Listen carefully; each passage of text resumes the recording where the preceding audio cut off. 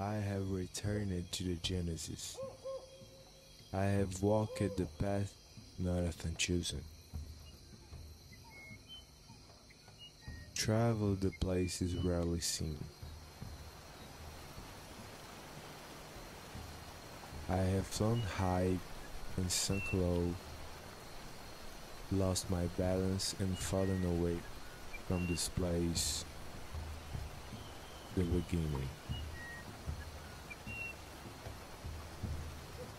As I submerge myself in this essence, I slowly begin to re-emerge. The dust of my travels washes away.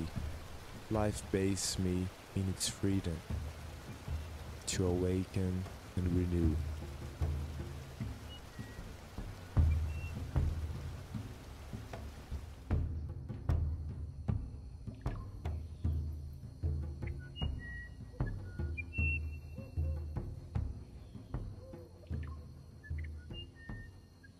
I can hear the rustle of the leaves, turning sunlight into purity for me to breathe.